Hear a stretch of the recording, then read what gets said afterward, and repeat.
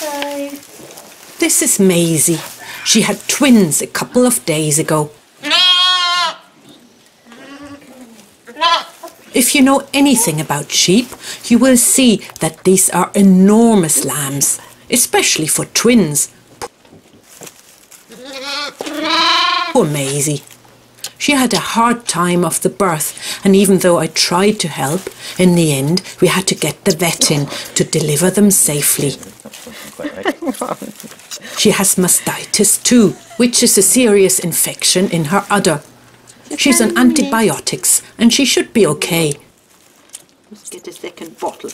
But in the meantime, it ah. means we are having to bottle feed her two lambs.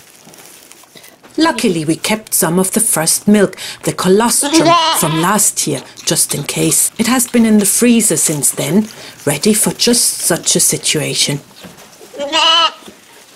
See the donkeys in the background? They're very interested in what's going on.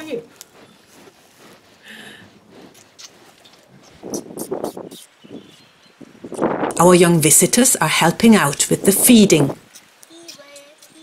It's hard not to like lambs. They are just so warm and cuddly. Baby. baby.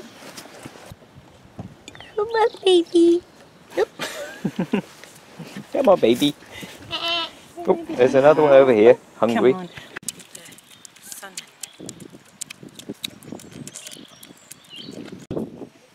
Meanwhile, Harriet's triplets are already a week old and doing really well. Well done, Harriet.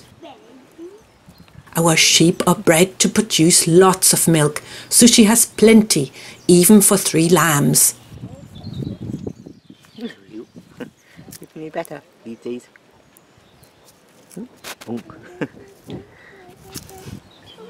We only had two ewes lambing this year, and so far they and all their five lambs have survived.